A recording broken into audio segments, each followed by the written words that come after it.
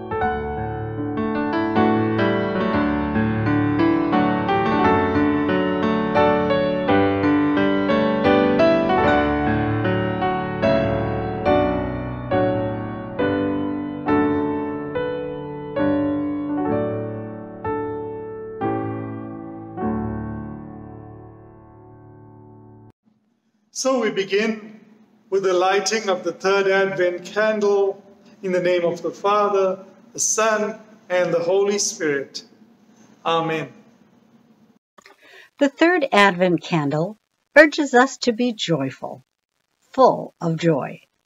It is an overflowing feeling, much like the glory of the Lord, which spilled out of heaven that ancient midnight to our Savior's birth. It spread from angel to shepherd, and finally to you and me. Be joyful. Luke chapter 2 verses 10 and 11. But the angel said to them, Do not be afraid, for see, I am bringing you good news of great joy for all the people. To you is born this day in the city of David a Savior, who is the Messiah, the Lord.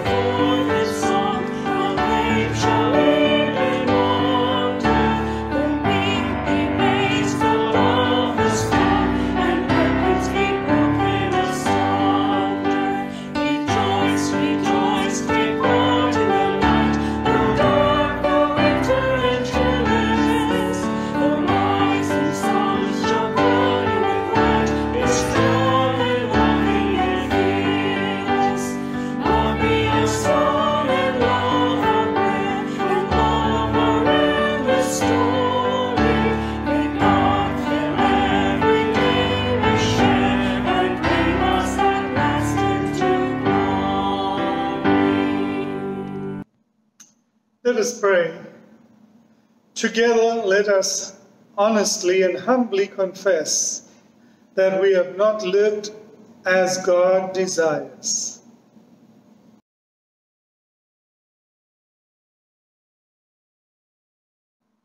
Loving and forgiving God, we confess that we are held captive to sin. In spite of our best efforts, we have gone astray. We have not welcomed the stranger. We have not loved our neighbor. We have not been Christ to one another. Restore us, O God. Wake us up and turn us from our sin.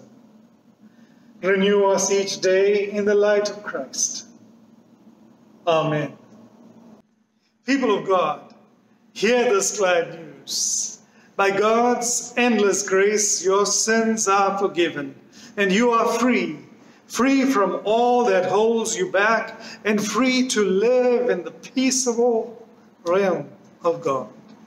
May you be strengthened by God's love, comforted by Christ's Spirit, and accompanied with the power of the Holy Spirit. Amen. The peace of our Lord Jesus Christ be with you always, and also with you. Share a sign of that peace with those close to you and send a text to someone that you can reach.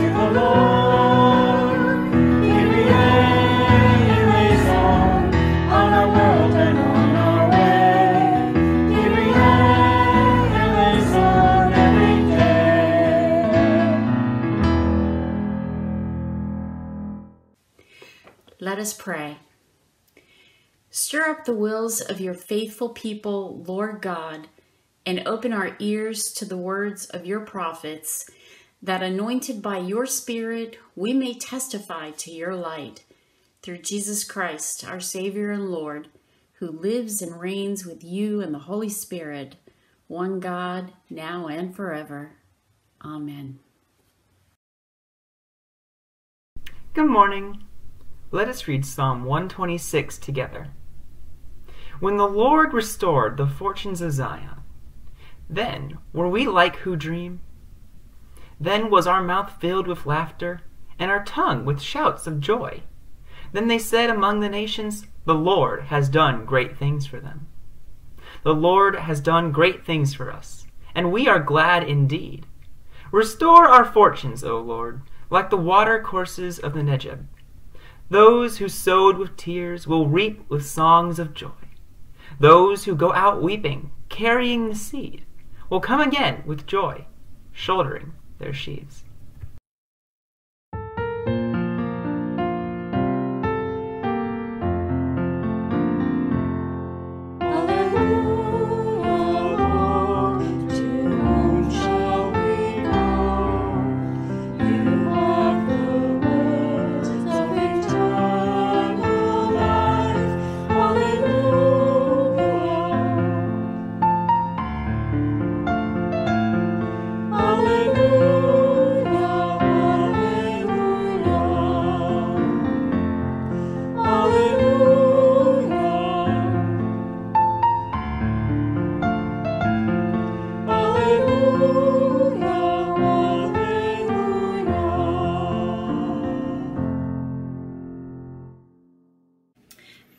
From John, the first chapter. There was a man sent from God whose name was John. He came as a witness to testify to the light, so that all might believe through him. He himself was not the light, but he came to testify to the light. This is the testimony given by John when the Jews sent priests and Levites from Jerusalem to ask him, Who are you? He confessed and did not deny it, but confessed, I am not the Messiah. And they asked him, What then? Are you Elijah? He said, I am not. Are you the prophet? He answered, No. Then they said to him, Who are you? Let us have an answer for those who sent us. What do you say about yourself? He said, I am the voice of one crying out in the wilderness. Make straight the way of the Lord. As the prophet Isaiah said. Now they had been sent from the Pharisees. They asked him, Why then are you baptizing if you are neither the Messiah, nor Elijah, nor the prophet? John answered them, I baptize with water. Among you stands one who you do not know, the one who is coming after me. I am not worthy to untie the thong of his sandal. This took place in Bethany across the Jordan where John was baptizing. The Gospel of our Lord. Godspell, a musical adaptation of the Gospel of Matthew, is one of my favorite musicals, which probably shouldn't be too surprising coming from a seminarian. I practically wore out the cassette of the original cast recording. It was my anthem. And I actually have some trouble hearing parts of the Gospel of Matthew being read aloud because I want to sing them. One of my favorite songs is the first song Prepare Ye the Way of the Lord, sung by the actor portraying John the Baptist. When I would listen to it or sing it, I would instantly feel both calm and exuberant. I still feel this way when I hear and sing the song. My reaction to the song has to do with the anticipation that the song brings. The listener knows something good is about to happen. It's also a wonderful command to bring about the kingdom of God where peace and justice will reign and human ills and worries are no more. In God's kingdom, righteousness, joy, peace, and happiness are the foundations. It's also pretty radical.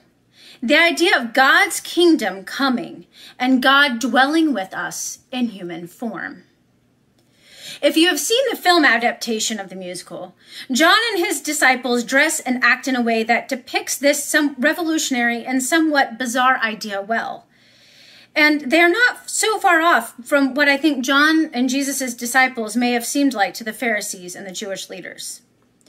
Two troublemaking hippies and their groupies. Yet it was what today would be described as good trouble. Trouble that brings about justice, not pain. Based on the gospel descriptions, John must have been a wild sight, perhaps even spoken of as a weirdo. A man dressed in camel's hair who only eats locusts and honey, emerging from the wilderness and telling others to repent.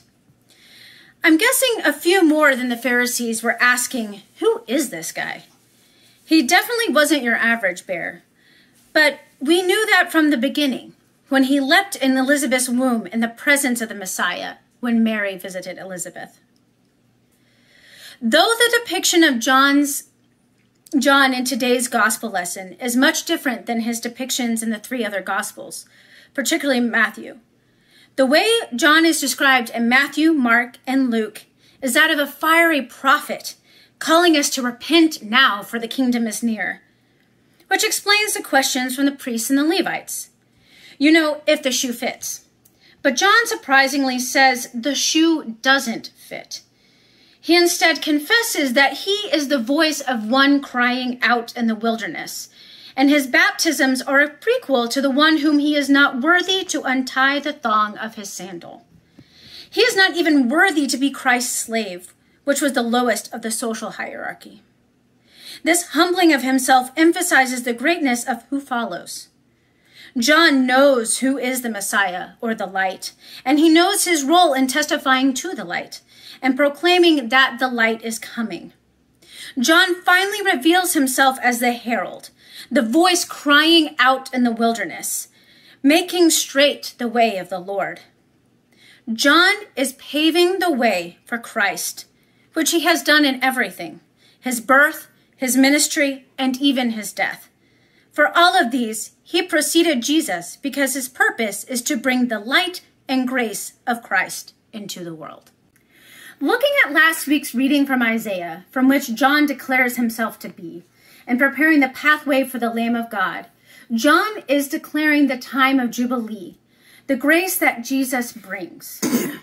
In the verses leading to John's self description, it is written, Comfort, O comfort my people, says your God. Speak tenderly to Jerusalem and cry to her that she has served her term, that her penalty is paid that she has received from the Lord's hand double for all her sins.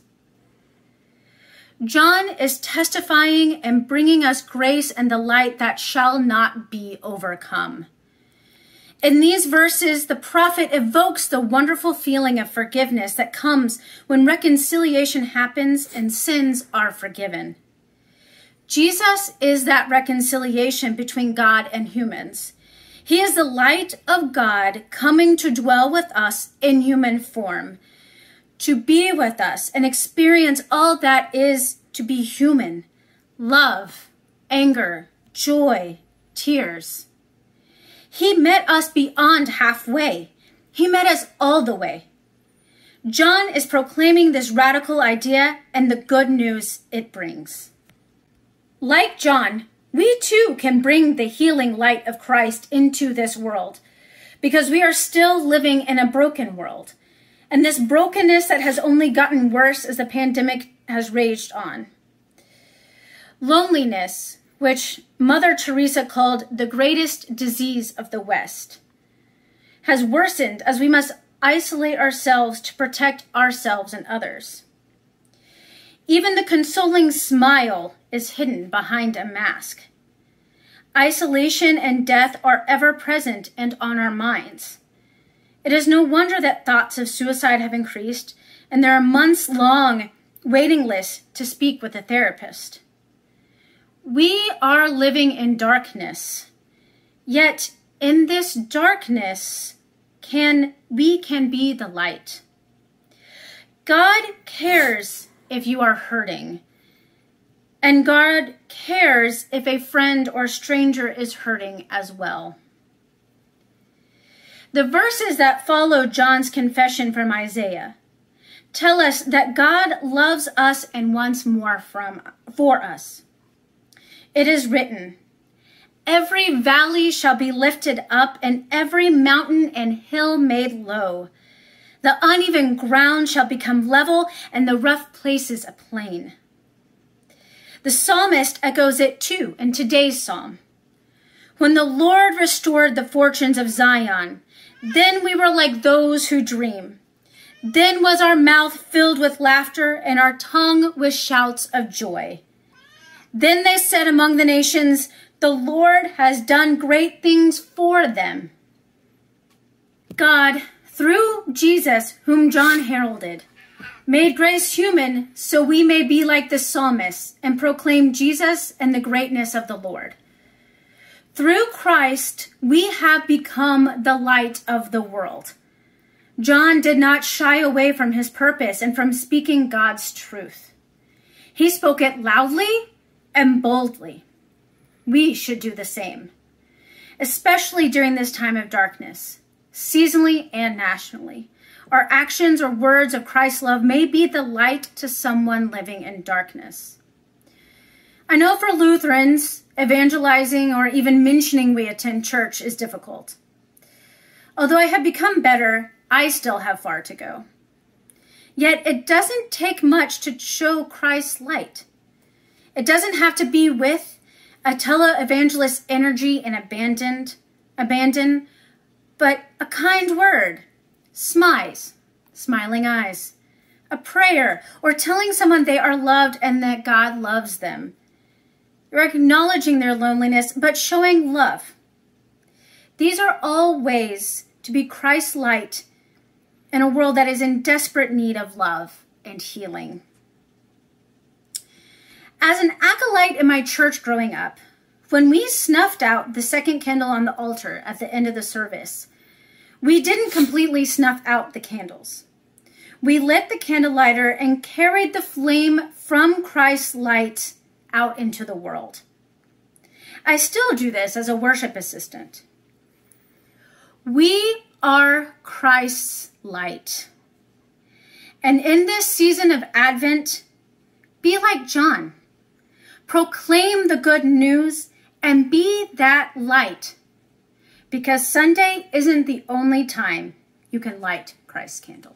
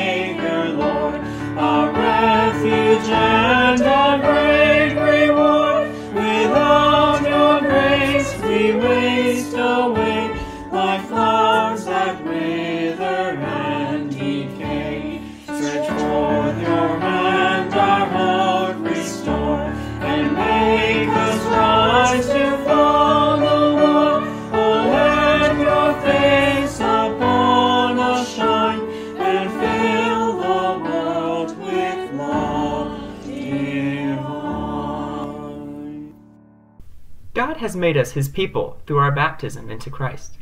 Living together in that trust and hope, we confess our faith. I believe in God, the Father Almighty, creator of heaven and earth. I believe in Jesus Christ, his only Son, our Lord.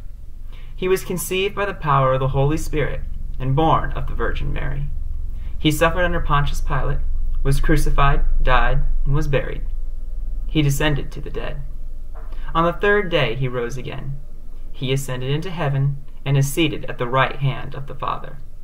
He will come again to judge the living and the dead. I believe in the Holy Spirit, the Holy Catholic Church, the communion of saints, the forgiveness of sins, the resurrection of the body, and the life everlasting. Amen. God of power and might, comfort your people and come quickly to this weary world. Hear our prayers for every one in need. Let us pray. God of preachers and messengers, you have entrusted your church with the work of proclaiming good news. Strengthen the witnesses of bishops, pastors, deacons, church musicians, lay leaders, and all people who contribute their prayers and talents to public worship. Embed your words in their hearts. Hear us, O God. Your mercy is great. God of all people and nations, you plant us as your oaks of righteousness and ask us to care for one another. Be present with the leaders of every nation as they govern. Give them a spirit of righteousness, that your goodness and mercy is revealed through their actions. Hear us, O God. Your mercy is great. God of exiles and wanderers, you repair what was once destroyed. We pray for people who have been displaced from their homes by fire, flood, earthquakes, hurricanes, or storm. Support the work of Lutheran World Relief, Lutheran Disaster Response, and all disaster relief organizations in their recovery efforts. Hear us, O God. Your mercy is great. God of the powerful and helpless, you clothe us with strength when our spirits are weak and weary.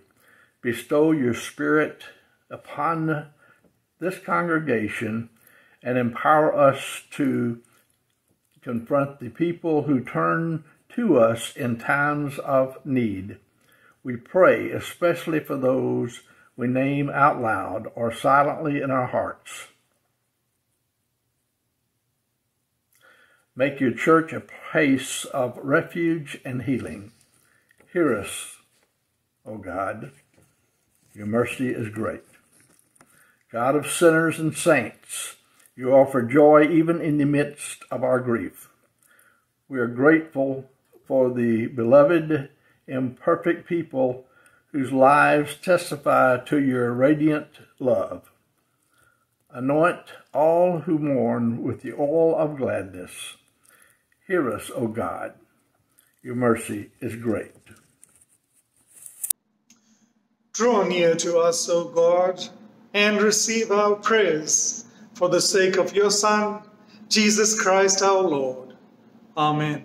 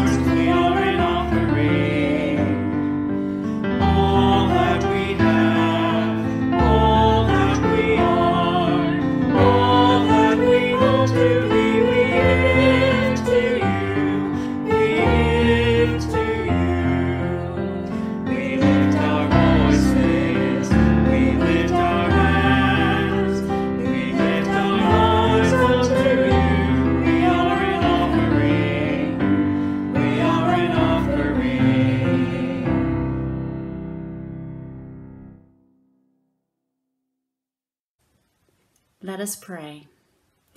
Generous God, you have created all that is, and you provide for us in every season. Bless all that we offer, that through these gifts the world will receive your blessing. In the name of Jesus, Emmanuel, we pray. Amen. We pray together as our Lord Jesus Christ taught us. Our Father in heaven, hallowed be your name. Your kingdom come, your will be done, on earth as in heaven. Give us today our daily bread. Forgive us our sins as we forgive those who sin against us. Save us from the time of trial and deliver us from evil. For the kingdom, the power, and the glory are yours, now and forever. Amen. A few parish announcements before we close today. Firstly, we wish those who have birthdays this week a very happy birthday. Let's remember them in prayer and pray for each other as we become aware of the needs amongst us. Please note the special congregation meetings by Zoom. Today, UELC members, remember that your annual meeting or special meeting is at 11 a.m. I remind you once again that all gatherings in person at UELC and GLC will remain suspended according to the advice of our COVID advisory group based on the guidelines of the CDC. Let's receive the blessing of the Lord. The creator of the stars, bless your Advent waiting. The long expected Savior, fill you with love. The unexpected Spirit, guide your journey now and forever. Amen.